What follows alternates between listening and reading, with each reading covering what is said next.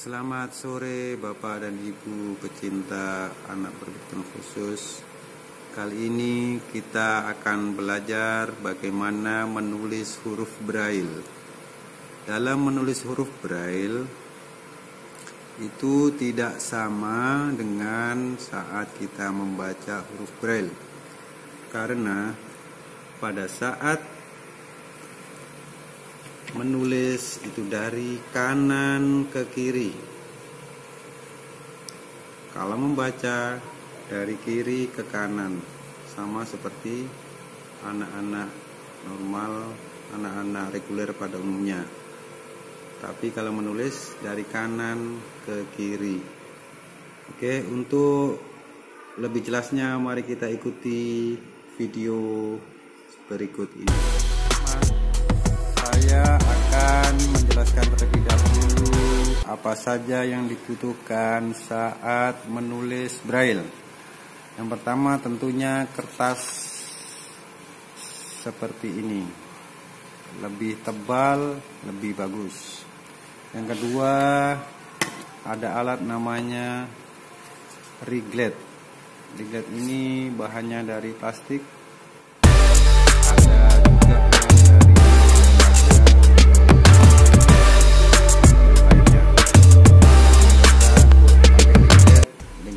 4 baris 1 2 3 dan 4 ini untuk alat tulis yang kedua. Yang ketiga adalah stilus namanya stilus atau pena untuk menulis.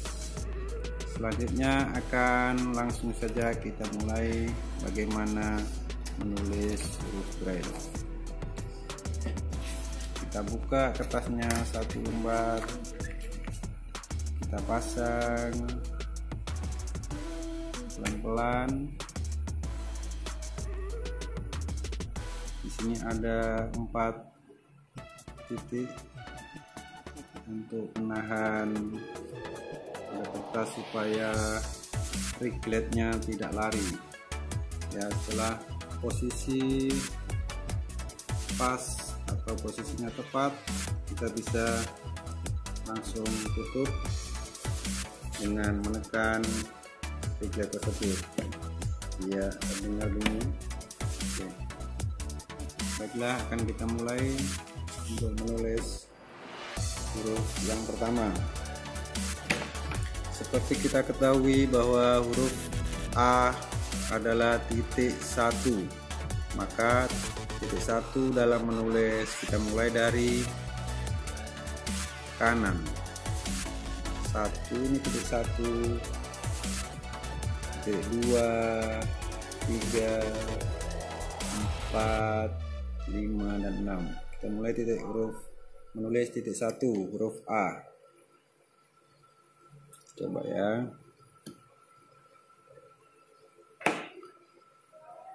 yang kedua huruf B.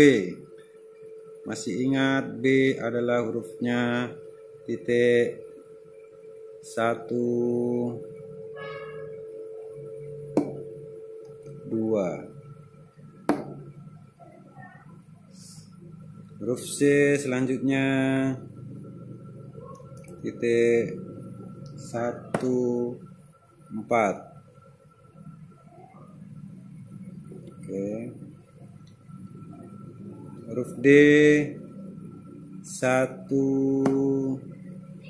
empatnya sebelah sini kebalikannya lawan dari membaca dan lima. Huruf E satu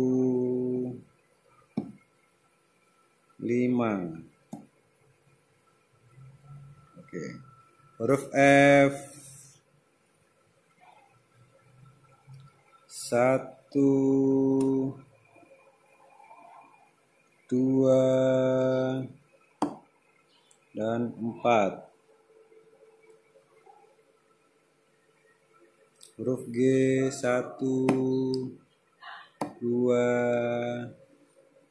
empat dan lima. Huruf H satu dua dan lima. Huruf I titik berapa? 2 4 huruf J. Huruf J. 2 4 5 sekarang mari kita lihat hasil dari penulisan kita tadi. Kita buka regletnya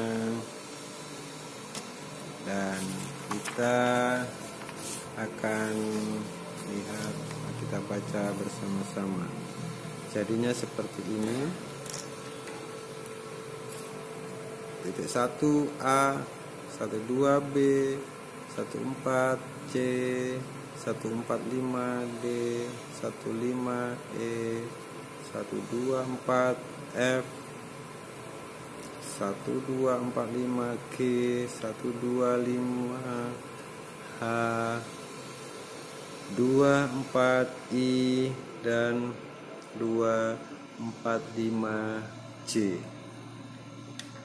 begitulah cara menulis huruf braille dari A sampai J. Dan huruf selanjutnya sama seperti saat kita menulis tadi yaitu dari kanan ke kiri.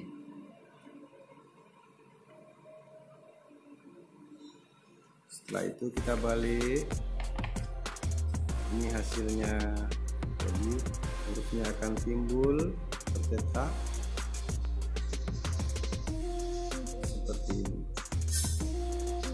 bisa diraba oleh anak tunanetra